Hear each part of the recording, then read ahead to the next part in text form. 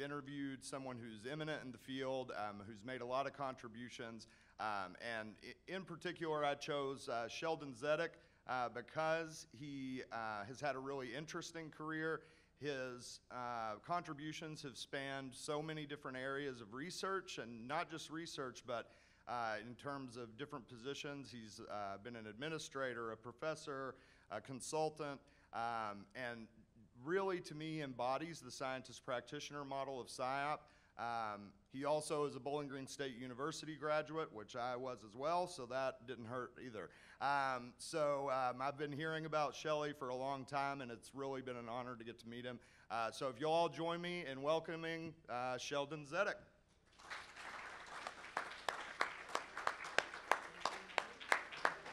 So, so Shelley uh, gets the honor also of being the first person I've ever, ever interviewed. So if it's a little awkward, I apologize, uh, especially to Shelly.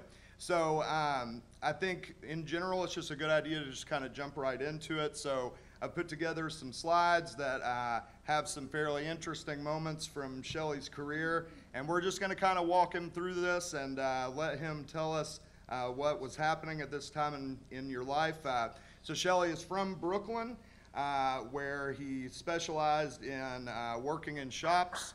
Uh, go Brooklyn! And so, uh, and dreaming of being a stickball star. Um, we actually, I've found, was able to dig and find his high school yearbook photo uh, from an online yearbook. Were you aware that that existed? No. Okay, so yeah, so that was a, a happenstance. Also, his brother's yearbook photo, and this shop here is uh, on Sutter Avenue, which was where he lived at the time. Um, so, Shelley, can you tell us a little bit about this time in your life, and in particular, so your parents were shop owners. I'm wondering how that sort of ended up influencing your attraction to industrial psychology. Okay, uh, first, thank you for doing this. Oh, yeah, uh, yeah. Nathan, I appreciate it. Uh, As it says, uh, I grew up, as Nathan said, I grew up in Brooklyn in a particular section called Brownsville, uh, which uh, was a very interesting section in Brooklyn. Uh, Today, people are moving into Brooklyn from Manhattan, so a lot of areas in Brooklyn are quite well off now. Park Slope, Borough Park and things like that, but Br- Brownsville was not a good area then, and it's not a good area these days. But as Nathan mentioned, my mother and father had a mom and pop grocery store, and I worked on it on occasion. Uh, but mainly uh, grew up in the streets of uh, Brooklyn, playing all sorts of uh, games that we played in Brooklyn. Uh, there was nothing organized like you have today, where you take your kids to a volleyball practice or soccer practice, baseball. Uh, we created our own games of stickball, uh, punch ball, um, stoop ball, uh, and there is a person at Cal who happens to be from Brooklyn, and he wrote a book on the games that the kids played in Brooklyn. But uh, we didn't have uniforms or anything. We made up our own teams, our own rules, our own decisions, and it was an interesting time. Uh, but I also, as I said, I worked with my parents' store on occasion, but I also worked uh, in other stores. Uh, just when I wasn't playing ball, it was had to work to earn some candy money. Even though my father and mother sold candy, but I still needed some candy money. Um, later on in, in high school, I um, delivered meat for a butcher, and then I also worked up in the Catskills at what they called bungalow colonies. Many people in the city of New York would go away to the Catskills in the summer where it was cooler. And so I worked in a bungalow colony as a, they called them a soda jerk. I would make uh, things that you probably never heard of, like an egg cream uh, or soda, ice cream sodas and things like that. So I got a lot of experience early on working. and so, how do you think that those experiences? Do you think that that attracted you to industrial psychology, or? Well, it may have attracted me to industrial psychology because uh, I worked for many years in, um, in the Catskills and stores and things like that, and I was always asking sort of questions. You know, why are they doing that? So there's a lot of why questions related to work environments. So I think that probably was a catalyst for why I decided eventually to go into IO psychology. And so, in your autobiography, and, and it's evident in your yearbook, you talk about this generic term of doctor, which was what you wanted to be, right? And so, um, and and I've noticed this with industrial psychologists. It seems like a lot of us kind of floated and weren't hundred percent sure we wanted, what we wanted to do, and then we end up just studying what other people do. You- Do you think that was the case for you, or? No, uh, it was sort of expected that I would be a doctor. Ah, okay, okay, okay, that, a real, real doctor, The right? culture was that I would be a real doctor. Yeah, And so uh, I did start out, uh, when I was graduating from high school, I then went to Brooklyn College, which is part of the City University of New York, uh, as many other kids from uh, Brooklyn went. And there I thought I would be a doctor, and as you have there, uh, Oh. just one blank. um, the Wi-Fi wants to join in here. I started out, I took uh, courses like in organic chemistry, anatomy, and biology, and I was doing well in those courses. But also, um, I probably wasn't a very serious student. Uh, then um, got involved in a number of social activities, was playing uh, what we call intramural sports, uh, again, from my stickball days.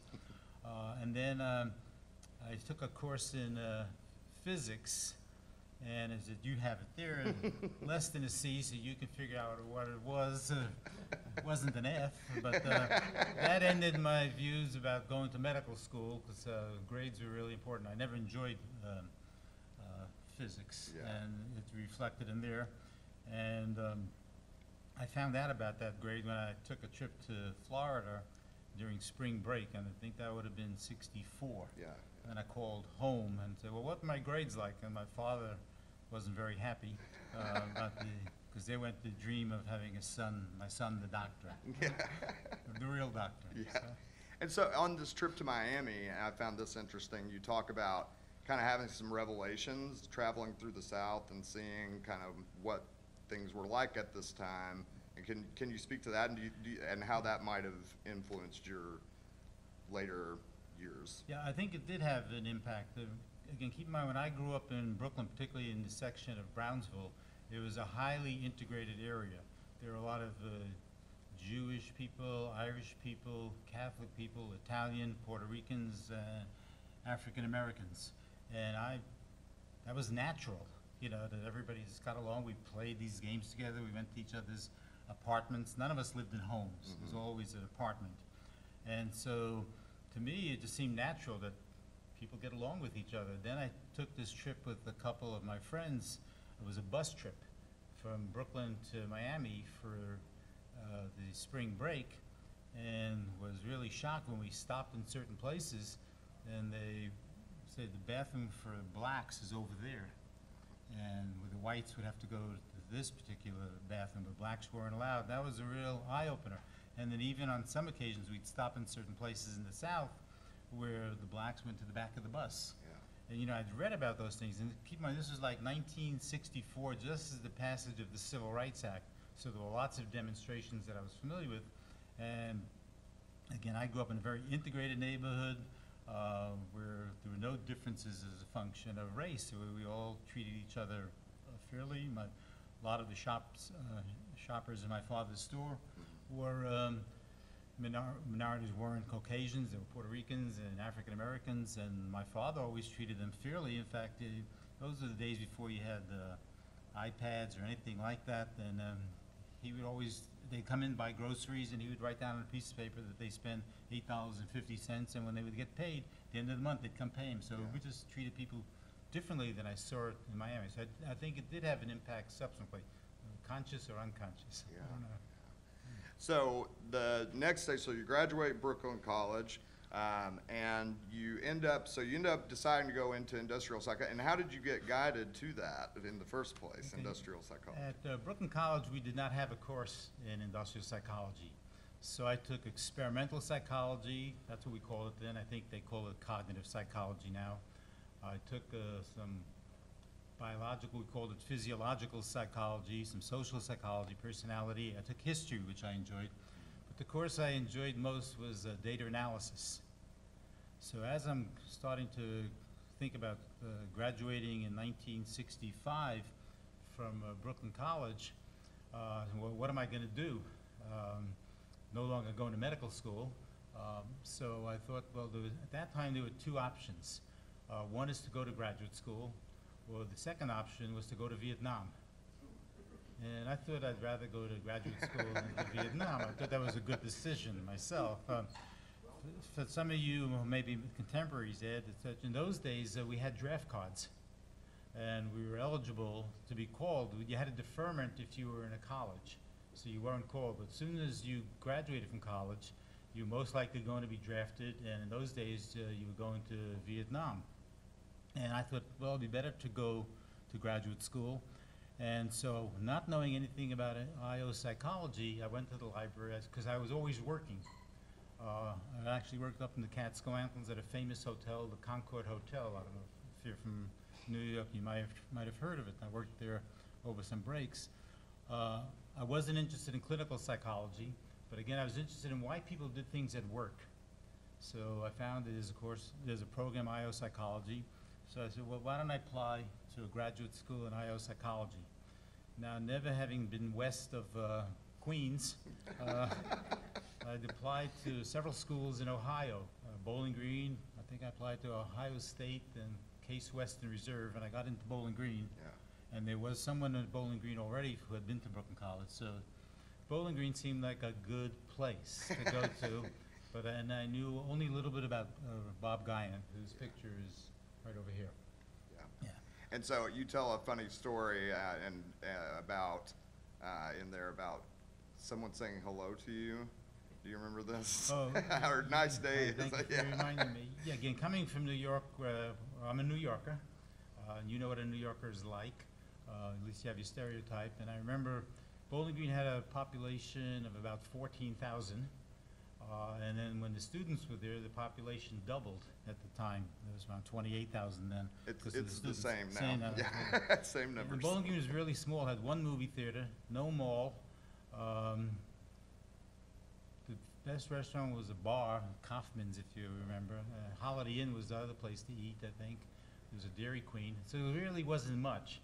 And so I remember one day, um, early in my time at Bowling Green, I was crossing the street, and someone said hello to me. And that was a shock that somebody would say hello to a stranger. So I checked my wallet and I looked at them. you just didn't say that in New York to people who you didn't know. So it was um, an experience, again, totally different atmosphere and culture Yeah. than I was accustomed to having grown up in uh, streets of New York. And so we, w- one of the pictures here is you with Pat Smith, who was your advisor, uh, who I told you I was lucky enough to see give a talk at Bowling Green uh, Yeah. before she passed away. Um, can you tell, speak a little bit about her, what she was like Yeah, as an advisor? And Uh, Let me just give a little bit of background. When I went to Bowling Green, uh, Bob Guion had just returned from a year at uh, Berkeley, which becomes important later on. Yeah. Uh, and he was the only IO psychologist at the time, and I went in on the master's program because I wasn't even thinking of a doctorate because they didn't have a doctorate program then. While I was there, they started working on being able to offer the doctorate, and they started to recruit uh, Pat Smith, Patricia Cain Smith, who was very famous for the job descriptive inventory, the satisfaction inventory, and also behavioral expectation scales, um, one, which I started doing research on subsequently. So um, after my first year there, then Pat came with her husband Ole Smith, who was sort of a IO psychologist too, uh, and they also recruited uh, Joe Cranny. Yeah. So then they had Guion Cranny and Pat Smith, and uh, I decided to work with Pat Smith because she's seen broad, broad. Even though I was really interested in testing and selection, because it was data analysis that in fact drove me probably into IO psychology, because that's what I like, statistics and like so. But I started working with Pat, and she was just fantastic uh, as a mentor. Uh, always accessible. We'd go to her house uh, quite frequently. She'd have us over there morning, afternoon, evening. Uh, we'd have a social gatherings at uh, Pat's house with, with her husband Ole. But she was always available to answer questions and to encourage you to do what you wanted and what you thought was right or interesting, not necessarily what was expected of you. So uh, my first publication was with Pat uh, in the Journal Applied, and um, to be quite frank, and Pat was, uh, wasn't surprised, but we sent in the, um, this will never happen today, we sent in the article to Journal Applied, and Ken Clark was the editor of Journal Yeah. Applied at the time, and we got it back with acceptance without any revision. Boy, this is easy. Now, I was the editor of APA with a ninety percent rejection rate, but, so, but it was Pat. Yeah. Uh, So, uh, but she was really good uh, in terms of mentoring me and uh, giving me the freedom to do what I wanted to study. Um, my dissertation was on a prediction model, uh, a multivariate prediction model, it was testing, which is what I sort of developed my career around. Uh, but she was my dissertation advisor, and Guion sort of would read it, because Guion had become, as I was uh, going through my career at uh, Bowling Green, Guion became the chair of the department, and he had less and less time to work with students. And besides, uh, some of you may know this, uh, Frank Landy is a Bowling Green graduate, and Frank was there one year before me, uh, and so I was a year behind Frank, but Frank became Bob Guion's student, and I was Pat Smith's student. So there was somewhat of a little rivalry between Landy and myself, even though we became very good friends and done, did a number of things afterwards. So, um, but Bob was also very good to me in terms of helping me with my dissertation research and kinds of things. He, um, one of the things about Bob Guion, which probably would not, if you knew Bob Guion, you would wonder about what I'm going to say. If any of us mentioned we thought we'd go into consulting, you would never say that in front of Bob Guion. you had to be an academic. Uh, but then towards the end, he got himself a consulting, two consulting projects, one of which uh, I worked on, writing exams for real estate licensure, something like that, because he had the contract. But the more important project that he got was, uh, if you're familiar with the position analysis questionnaire, the PAQ, that um, McCormick developed and that Jeanneret subsequently, well, uh, Guion got a consulting project in Armco Steel, somewhere in the south of uh, Ohio. And he took all of the graduate students, and we thought this was great, because we went on a consulting trip, and they gave us uh, boots with the steel plates, and we wore hat, hard hats, et cetera, because we were gonna go around a uh, factory, and we were to do a job analysis of what they did using the PAQ, the original position analysis questionnaire. Now, I think it's changed today, but in those days, it was quite uh, a device in terms of the vocabulary. So I'd be sitting there with uh, some gentleman, and was male, basically males, no females, you know, by a furnace, a guy feeding uh, steel rods in there, et cetera. So what do you think the deductive reasoning is in your job? and they would look at me, because, well, that's what it said here, so, uh, what about information processing? So it was an experience trying to explain what the PAQ meant to people who didn't know, but it was a really learning experience, and I carried some of that forward when I've done my own job analyses.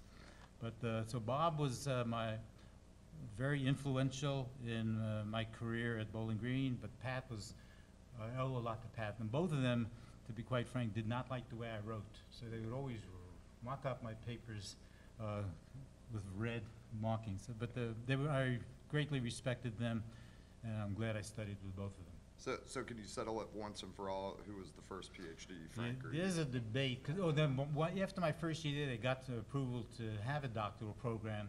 So, um, I applied for the doctoral program, it was another, I figured, oh gee, another three years, four years of avoiding Vietnam, we were still in Vietnam. Um, and I got in, and Frank also got in. Uh, again, Frank was Bob's student, and I'm Pat's student, and then, uh, they had never had produced a PhD.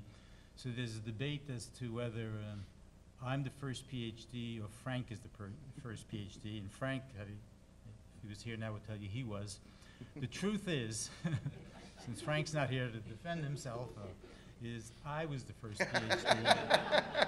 Because I, and Frank will had admitted this, I took my examination first. I had to defend my examination first, and Frank went after me to defend his graduation. But at graduation, when they gave out the degree, they went in alphabetical order.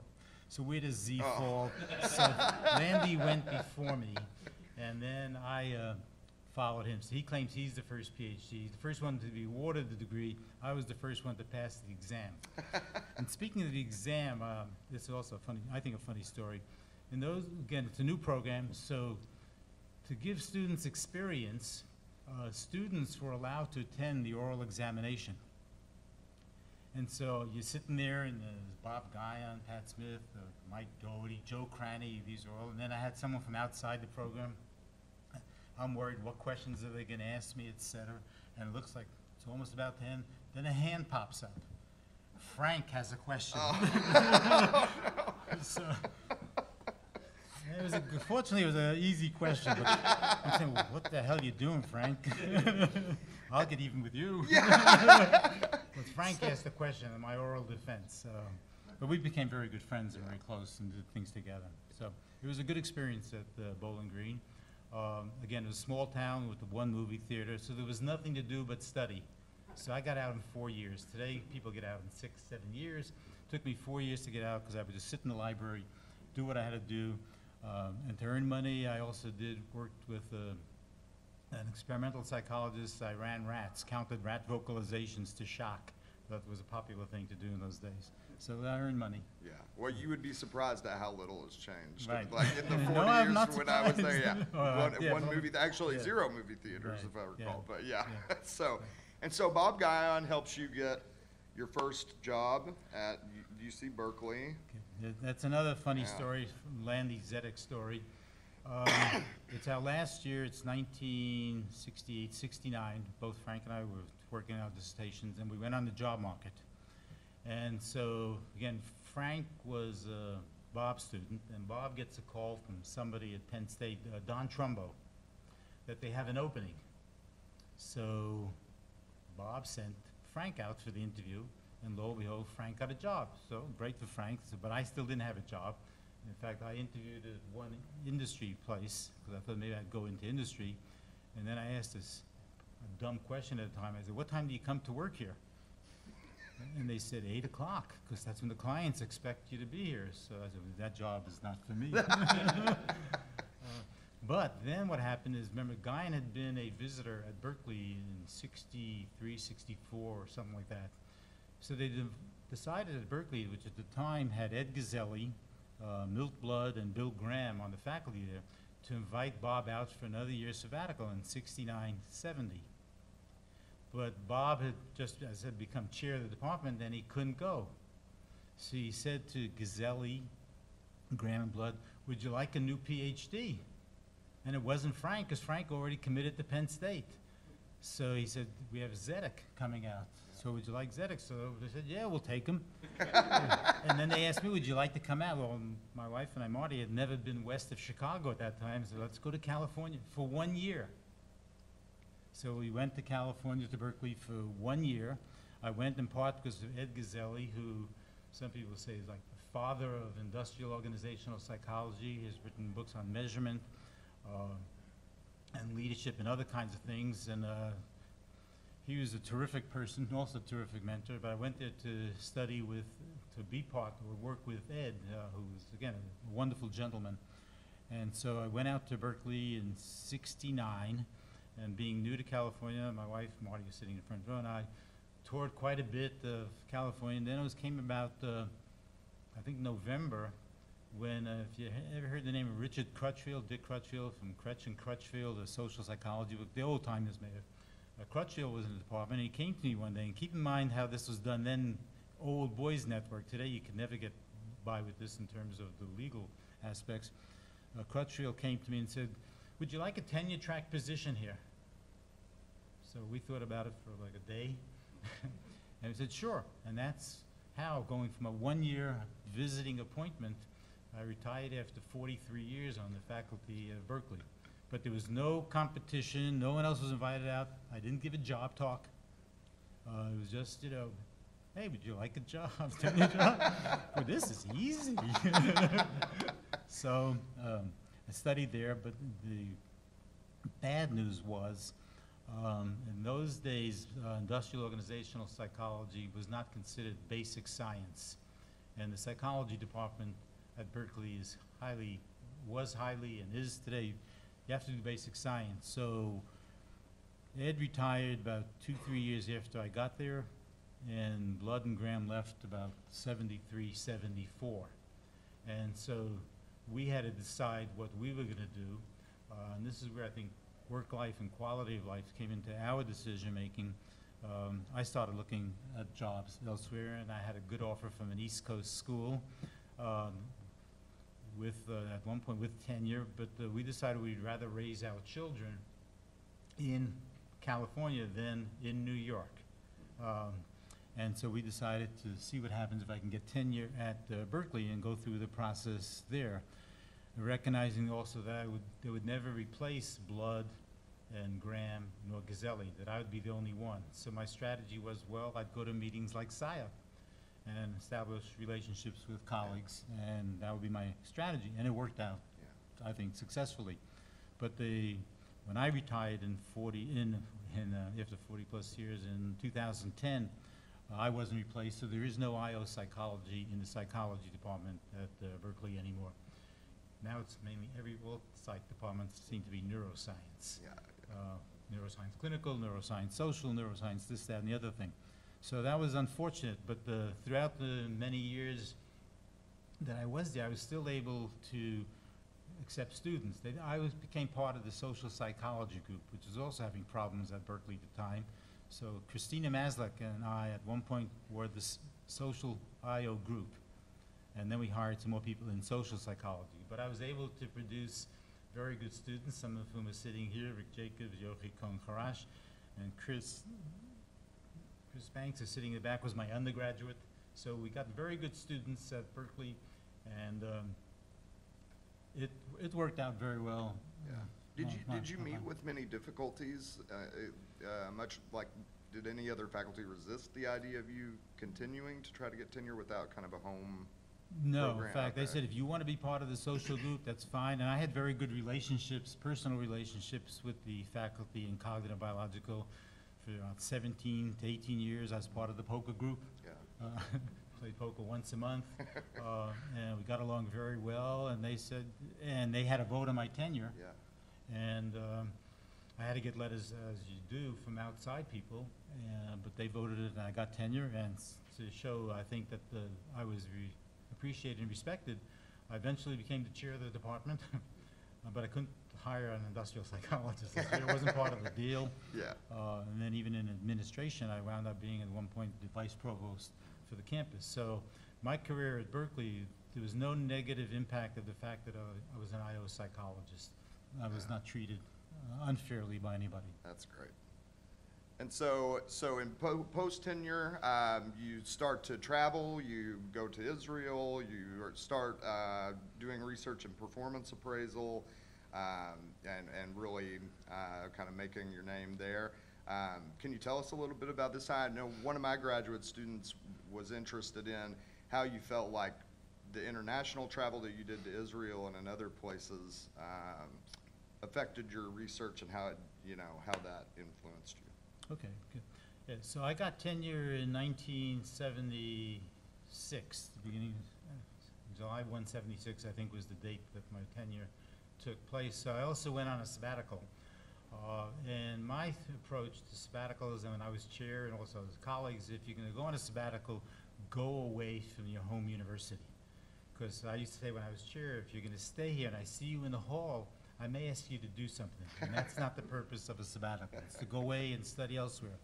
So in my forty-plus years, I think we took uh, five, six sabbaticals, and all but one were overseas. So I wound up teaching and traveling in Israel, Sweden, Australia, Amsterdam, Hong Kong, Beijing, and other places, always going away. There's one year I spent in the uh, States on a sabbatical, maybe talk about that, is Oh, yeah. at AT&T. Yeah. I spent the year, this is before AT&T divested and became all these different companies, but I learned a lot about assessment centers. But um, I went to Israel, we did research there, I worked with the Israeli military on policy capturing of how to explain people's interview processes. Well, We got a publication out of that with an Israeli colleague. Uh, I went to Sweden because I was interested in work-life things, and Sweden was supposedly good for work-life uh, issues. And so in a lot of these places, I would collaborate or make contact with colleagues there in terms of doing some research or studying or learning from them. So our travel um, got us out of the country. It also gave us an opportunity for our children to be exposed to different cultures. They, in every situation overseas, uh, Marty, you can nod your head if this is correct, they went to the local school as opposed to an English uh, diplomat school. So in Israel, they went to the local schools, to the kindergartens, the nurseries, and in Sweden, my daughter went to the school around the corner, uh, the corner. So it was also good for our children in terms of learning about the different cultures. And I think that's really critical uh, to expose your family and children to other cultures besides where you live. So that was very good. Uh, Performance appraisal work is what I started on. It was a continuation of what Pat Smith had taught me about behavioral expectation scales. And we were studying kinds of things with Rick Jacobs and Ditsa Kafry and others uh, in terms of uh, how people make decisions uh, from a behavioral perspective, looking at behaviors as opposed to traits for evaluating uh, people. So started uh, there. Uh, and so that's um, my travel, my performance appraisal work. You also have overcoming a personal hardship. You got that up there. Um, we had had two children then in 1975. Before we went on sabbatical, we had a third child. Uh, and shortly after she was born, maybe six months, eight months, we recognized that there was an issue, and it turned out that she was born with a undeveloped uh, brain. And so we did everything we could in the States. Uh, I remember being in Florida and University of California in San Francisco to try and do some things. But we took a, with us to Israel and had Israeli hospitals and doctors look at, and the prognosis was that um, she was not going to have any life uh, in terms of the undeveloped brain. So we had to deal with that uh, in Israel and coming back. Uh, but it also gives you some insight as to what your career is all about. And it, I think it did change me to some respect. Um, I may have thrown myself more into my work at the time to avoid the problems, even though I think I did devote time to trying to figure out what happened. She eventually passed away at the age of like two and a half, three, three. Um, but uh, it was always hardship, but I had the support of colleagues at Berkeley uh, and friends and relatives. Uh, but something that uh, caused me to think more about work life, which I subsequently started to do some research on. And so do you think, and, you know, and I, first of all, I want to commend Shelley for talking about this, and it was something I, I wanted to talk about a little bit, because I think at some point, all of us will experience some type of, uh, uh, you know, personal tragedy, um, and this is at a very busy time in your life. It- it- And I know that we kind of talked about this, and you said, well, I'm not sure if I have great advice, but is there anything that you can think of that really helped to get you through that kind of time, or? Well, I think uh, support from family and friends um, helps quite a bit. Uh, But then my, I think, uh, I'm a workaholic to begin with. Uh, I think that's from growing up again in my parents' store and working as a child. I've always been working. So I threw myself more into work. I'd work uh, on weekends, Saturdays, but Sundays I'd go to all the games and activities of, um, I had two other children, two older children at the time. Um, so I think it's, um, you have to find something to involve yourself in to sort of take your mind off the, the problem you're having. I have no better advice than Yeah. that. Well, thank you very much for talking about that. So, um, so not long after this, you go to AT&T, and we have here Mary Tenopyr, who you've, um, sort of told me you had a very good relationship with and was really instrumental with you. The thing about Mary Tenopyr, who probably a lot of you know or know of, is that, and this relates also to Bob Guion, when I got my degree and I went out to Berkeley, in the early seventies, Bob Guion was the, uh, became the president of, at that time, it was Division fourteen, that's before we were SIOP. And so Guion again called and say, Shelley, would you like to be on a committee for Division fourteen? Uh, sure. Know, I, my problem, my wife says, if I come home and say it's interesting, she knows it's a problem, but I'm gonna say yes to something. So I thought, boy, it'd be interesting to be on a committee. Um, and so he says, we'll put you on the Education and Training Committee, and the chair of that is a person named Mary Tenopyr. Sounds good to me. So I did, it, so I met Mary, and this was in the early seventies. And Mary was also a fantastic mentor. Uh, right as can be in terms of validation, methodology, data analysis, et cetera. So she taught me quite a bit. And then when I came time for sabbatical in 82, 83, uh, I was interested in assessment. So again, this is before they broke AT&T up, and AT&T was one company for the whole country. And they had the largest uh, group of psych, IO psychologists or psychologists in general. There must have been 25 to 30 psychologists working in Basking Ridge, New Jersey. And so I decided to go there uh, for sabbatical. I was invited by, not so much by Mary, because she worked in one unit in selection, but I wanted to learn about assessment centers. So I went to the unit with uh, Dick Campbell, and in the previous uh, slide, if you can back up a little bit, yeah, see those two guys? Well, there's Ken Wexley in the middle, and Joel Moses is to, as you're looking at towards your left. Joel Moses was there, uh, Dick Riley, uh, Doug Bray, uh, Don Campbell, all famous people in assessment centers, the people who developed the whole literature on assessment centers. And I wanted to learn about assessment centers. So I went there for the year, and I learned an awful lot about assessment centers, but also worked with Mary. Because Mary is also the first one who got me into consulting. In the mid-seventies, she said to me, I was working on the Education and Training Committee, and I'm sort of a, she thinks I'm Bob Guion's student, and which is okay with me, uh, it was okay with Bob. um, That, said, would you like to do a consulting project? Sure, sounds interesting. right? So the consulting project was, and I knew nothing about physical ability, is in those days, they had people climbing poles, um, going, uh, lifting up what we called manholes, and going in underground the streets, doing things, installers, repair people, and we wanted to, they wanted to develop a physical ability test. Well, I didn't know much about physical ability, uh, but I was learning how to do validation, and that's what Mary was responsible. So Mary guided me through this process of the validation of a physical ability test, which was subsequently published. Um, but as a result of her, I'd also travel around the country because we did this in multiple sites.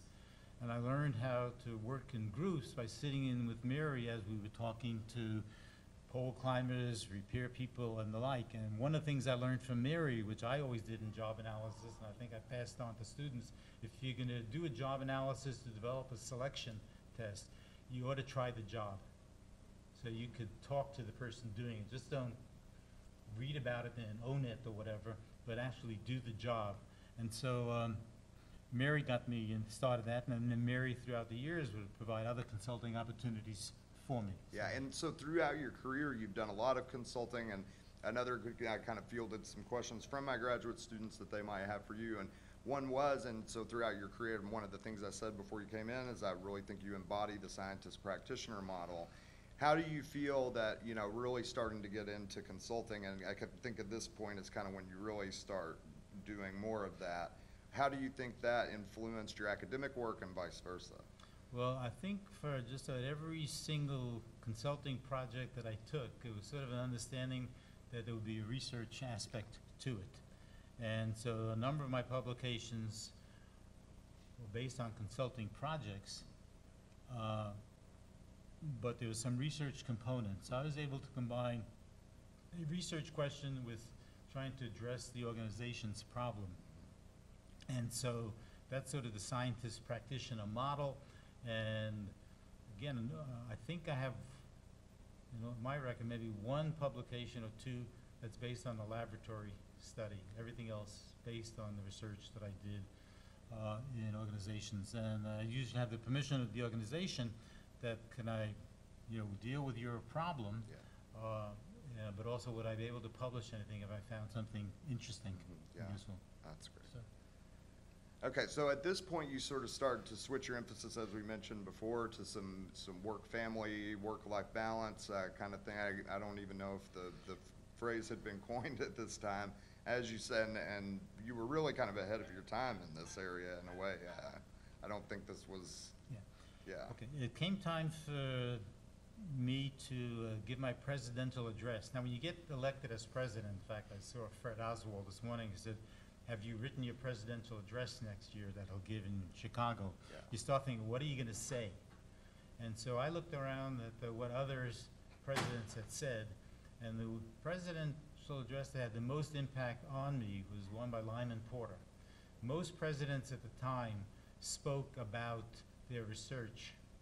Lyman Porter spoke about an issue that he thought was important, politics and psychology, which IO psychologists hadn't studied.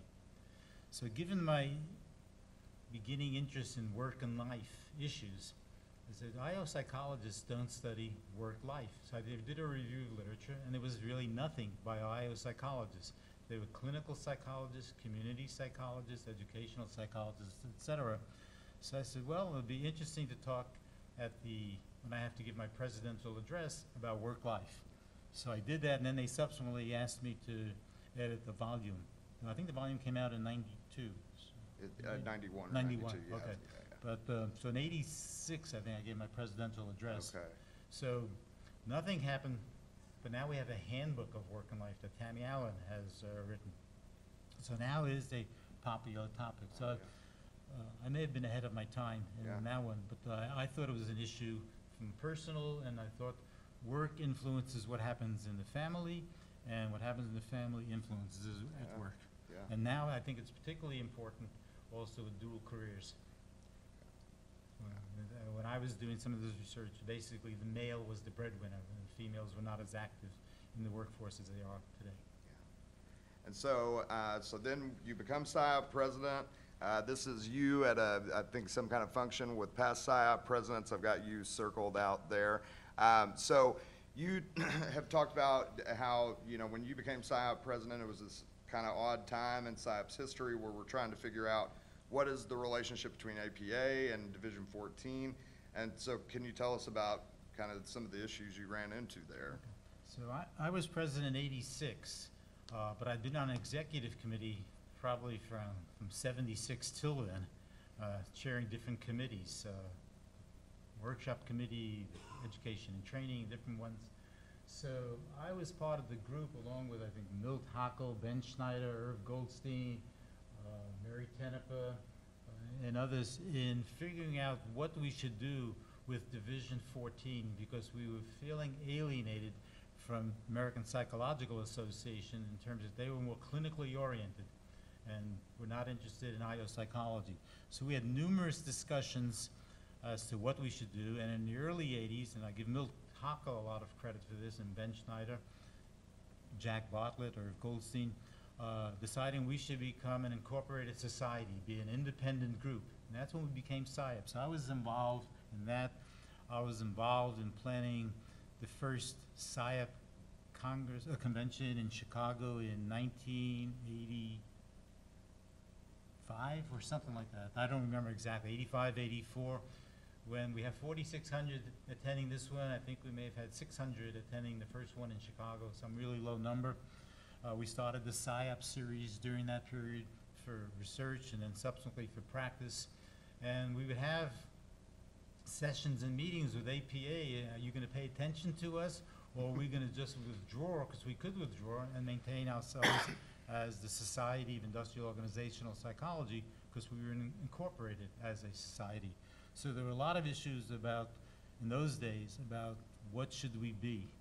Uh, But planning the first uh, convention was interesting. I was on the planning committee, so uh, this will rarely be of interest to you. We had no exhibitors. We didn't want exhibitors. This is gonna be a science con- convention, and it could be at a single hotel. And typically, we would say in a, in a city that didn't have distractions. So we'd all sit around, and it had to have a, an area in the hotel where everybody could sit and talk to each other. So big spaces where you got sofas and chairs and talk to each other. And we didn't have, what do we have, nine hundred sessions here? I- Uh, I- I'm Something not like sure, that. yeah. Uh, So it was really small, but the idea was we would talk to each other and communicate with each other and meet and socialize with each other. It's changed, obviously drastically. Oh, yeah. So, That's great. So, uh, in the, I think we're gonna kind of skip ahead a little here, and this is a, part of your life that I'm really interested in, is some of this later work you've been doing, uh, with, with, um, uh, law school admissions testing, uh, trying to minimize bias. You've won awards for this, uh, the Smashing Bias Award, and, um, this really has made an impact. Uh, there New York Times articles about your work in this, uh, um, so can you just tell us a little bit about some of this stuff? yeah, but if I may, if you could just Oh, absolutely, back up oh, to that, absolutely. 'cause We- this is yeah, a yeah, critical yeah. part. Okay, yeah, yeah. In nine, late nineteen eighties, I got involved in working in the city of San Francisco to develop, as part of a consent decree, an examination for firefighters. And as part of a consent decree, each of the sides has a representative. So to, as you're looking at it to your right is Jim Outtz. He represented the minority group. In the middle is Eric Goldstein, who represented the Department of Justice, and Wayne Cascio came on as just, the- he was just an expert. I represented the city of San Francisco. It, the notion of a consent decree, two things, it's the best thing you can do, because we're not at odds with each other. Our goal was, what can we develop that works for everybody?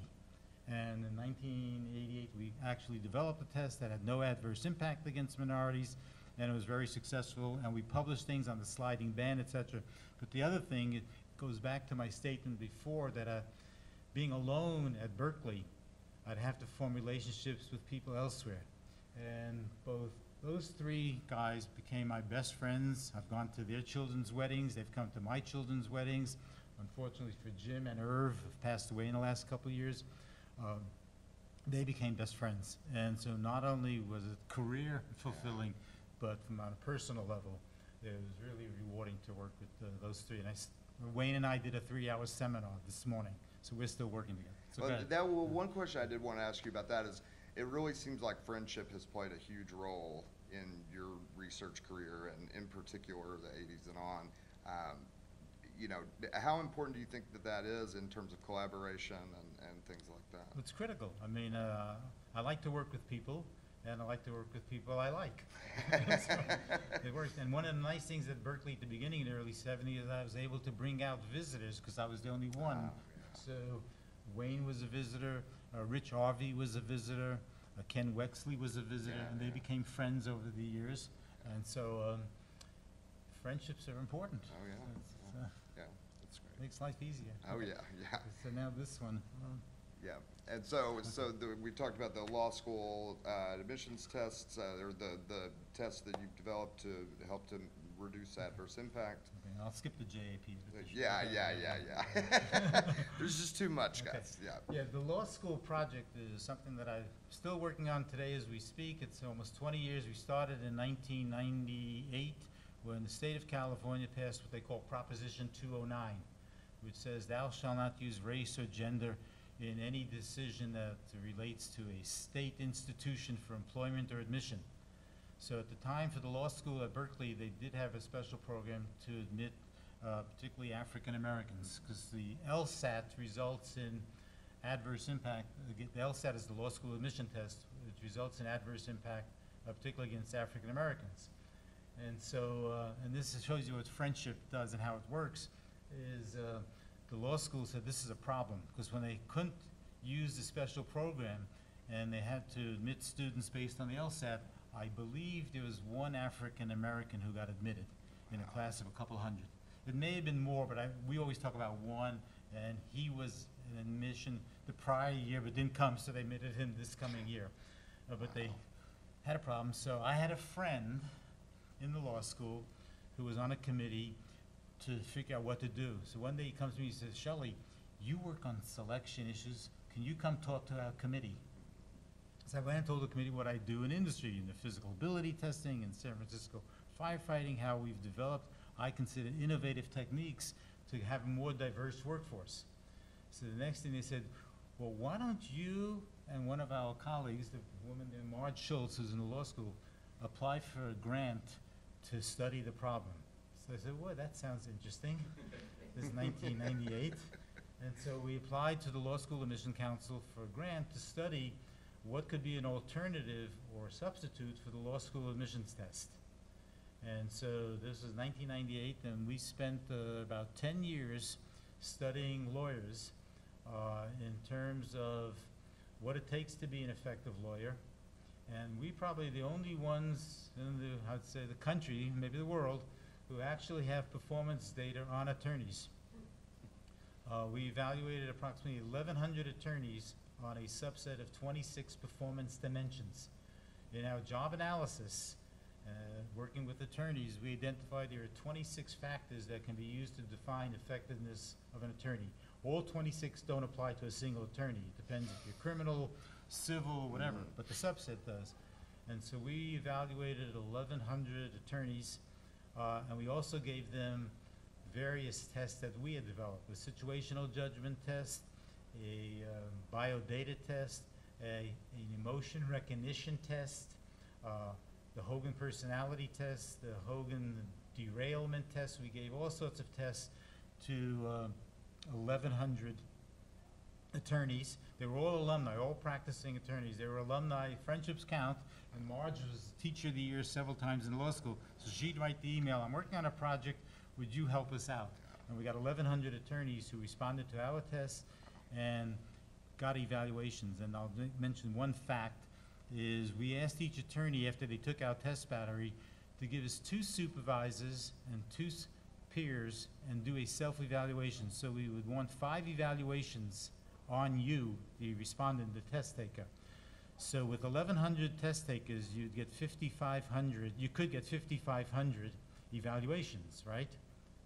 What blew me away, the best part of this whole data is we got over four thousand evaluations, which is, the response rate was unbelievable. And they were not necessarily Berkeley Law School alumni. So anyway, we did that research and we came out with terrific results. It made the New York Times. A lot of people are interested. Uh, nothing has happened with it. Uh, because uh, that'd be a whole session by itself. It's all Yeah. politics. One of the, your ranking in the U.S. News and World Report is a function of the average LSAT score of your incoming class. So why change something that could affect your ranking, which will really annoy your donors? So um, that's my hypothesis. Okay. So, so, and thi- so you retire in 2010. Now, in your autobiography, in 1991, you end it by saying something to the effect of like, you know, and I hope things slow down a little bit. Obviously, between 1991 and 2010, that was not the case. Uh, do you think, have you slowed down, or Now? are you still? Yeah, yeah, or No, I yeah. didn't slow down until 2010. My last four and a half years, uh, four years at, at Berkeley, I was the vice provost for academic affairs and faculty welfare. But again, it- I think in my administrative roles, I also tried to uh, implement things that I had learned as an IO psychologist. Uh, and I was interested in work family. So part of the programs that I developed as vice provost, which was responsible for faculty retention, recruitment, and merits for the whole campus, 1,500 faculty, were work-life programs. I implemented a child care, pro- or some, I worked on child care, emergency backup, partner policy, things that would make it easier for faculty to be successful. So I, in, those years when I had to do the bureaucratic administrative stuff, I also used things that I'd learned as an IO psychologist to try and implement. So in 2010, uh, it was after 41 years, I decided to retire. And have I slowed down? No, I'm a workaholic. I realize that. And. And so I keep on taking on different kinds of things, but we do still continue to try and travel Yeah. and spend time with our grandchildren, some of whom. Yeah, I was that gonna ask picture. you here, so we have a picture of, of, uh, the family here at, at his retirement. Could you, uh, just kind of tell us who everybody is here? I have to stand up. Oh, yeah, absolutely, yeah. So this is my oldest daughter, Cindy, and these are her boys We're in cow shirts, sweaters that my wife knitted. Uh, her husband, that's me, I haven't changed. Uh, This is my oldest granddaughter, this is Marty, my wife. This is my son and his middle daughter, they subsequently have another daughter. This is his wife, and we have a third child after, uh, one number of years after him, Tracy. So this is the family, we've got one more addition, one more uh, grandchild. That's so great. So, um, so I guess we're gonna go ahead and, um, start to maybe take some questions. Um, I know that we've kind of run just a little bit over, but I'm, I'm hoping you don't mind that much. Uh, so does anybody have any questions for Shelley?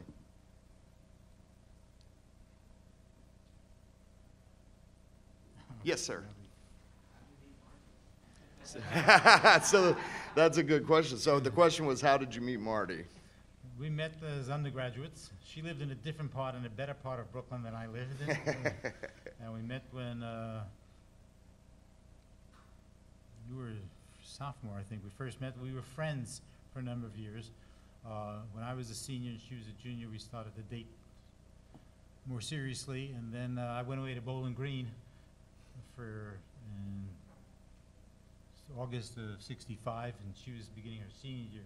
Senior year uh, then, and then during that year, there wasn't much to do in Bowling Green. so, in any event, uh, we got engaged that year, and we got married one year afterwards, and um, Marty came out to Bowling Green. which is how you know she really loved you. She Still a didn't- pretty she good didn't know what Bowling test. Green was like. Still, a- okay, s- anybody else? Yes. What advice would you give to a first-year graduate student going forward to their career as academic?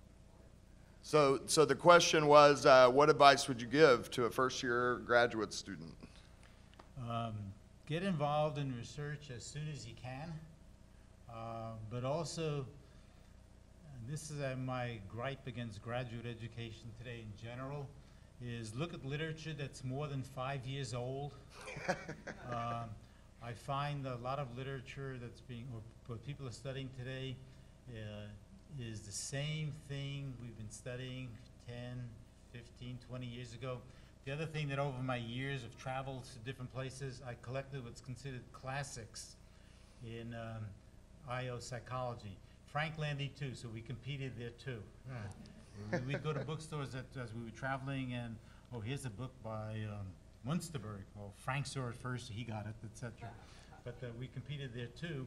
Um, And if you look at the table of contents for these books that were written in the early 1900s, the table of contents for IO psychology is no different than, than it is in the most recent textbook on IO psychology. The problems are the same.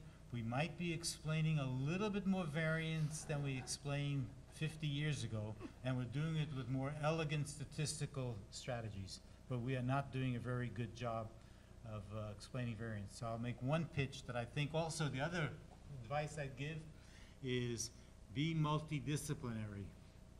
Get someone else besides a psychologist to study the problem. Chris, Chris Banks is sitting in the back and I, talking about work, it's mainly Chris's work, I sort of sit there and say things at certain times, is, um, we've created the Interdisciplinary Center for Healthy Workplaces to study what's meant by healthy workplace from the perspective of a psychologist. And there are clinical psychologists, there's community psychologists, but also there are people in ergonomics, in public health, in public policy, uh, in architecture, getting all these people together, all of them to talk about the problem of what makes for a healthy workplace. You'll explain more variance if you have a different perspective than just our siloed approach. So I would say research from a multidisciplinary perspective.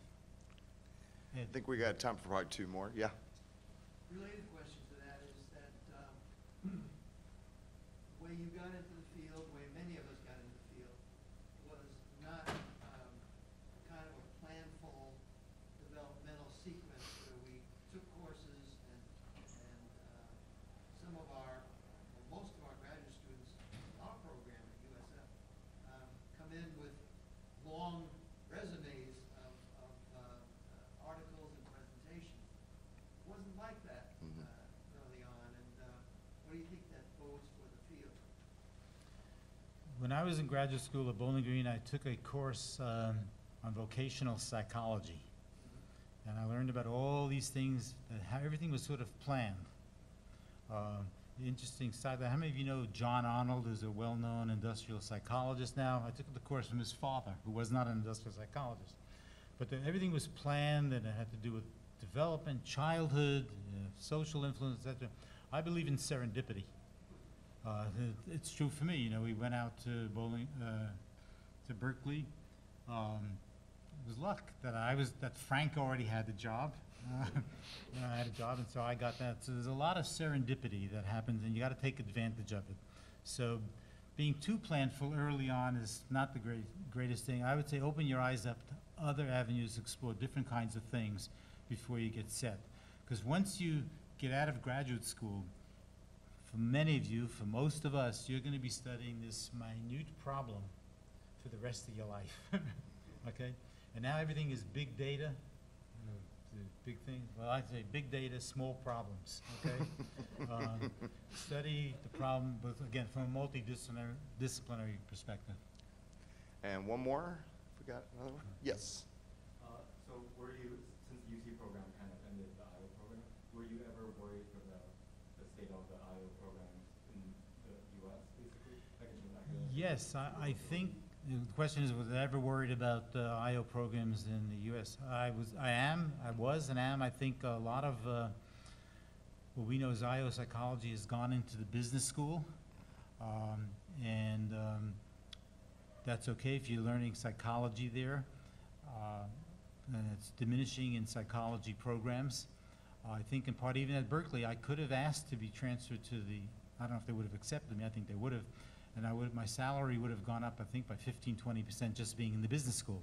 But I enjoyed talking to other psychologists. So my next door neighbor was a community psychologist and a developmental psychologist. With all due respect to people in marketing, finance, and accounting, if I was in a business school, they would be my next door neighbors. And I prefer to talk psychology. So I would hope that we can stay in psychology departments, even though I recognize that the the finances are such that business schools are attracting more and more of the IO psychologists. A number of my students have gone into business schools, but, so it's okay, but uh, it's a problem, it's a potential problem. One more question. Yeah, I only saw one more, I was gonna say, I only saw one more hand, so, well, yeah. What are your plans for the future? Um, Let's see, um, what I've been doing the last couple years is when I retired, I also became the president of the Emeriti Association at Berkeley. And so I've been working on things with them, uh, but again, it reflects my interest in IO psychology. Berkeley does a very good job in preparing you for retirement by having pre-retirement workshops. So if you're thinking of retiring, you can go to a series of workshops on, um, health benefits, um, insurance, uh, wills and estates, what I call nuts and bolts. So I'm working on programs now, what I call psychosocial aspects, where we bring couples together to talk about what retirement is going to be like from a transition from a faculty member where you're important, people ask you questions, you go to a departmental meeting, you get respect, etc. Once you retire, you you lose your office, nobody cares what you say, uh, and so you gotta get used to that. So my, uh, so I'm still working on that, and I still do a little activity of advising on boards. Well, Keep his, busy. his involvement in that society, by the way, boded well for me because uh, he's trying to do interviews with faculty who are retiring. So he really couldn't say no because the karma could come back to him in a not so great way. So I want to thank all of you guys for coming. I I especially want to thank Shelley Zedeck uh, for, for taking the time to do this and to share with us the perspective he's gained over the years. And um, I, I also want to say it really is like it's such a great experience to meet people who you've known their stuff. And you know, we saw I saw you give a talk about the law school admissions stuff when I was a grad student at Bowling Green State.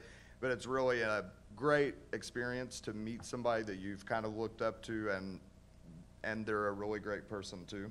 And so, so it's been a pleasure uh, getting to know you, Shelley. So No, thank you thank very you. much, and Appreciate thank it. you guys. Thank